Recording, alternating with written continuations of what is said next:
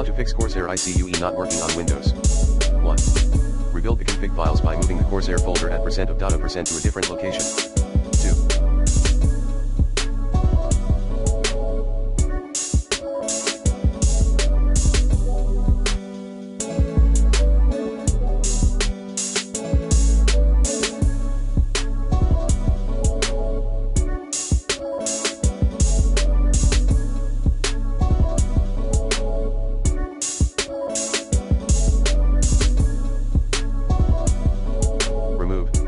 Recommended uninstall tool pro in this video guide, then reinstall Corsair ICUE.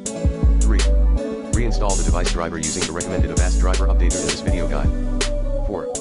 Make sure Windows is up to date.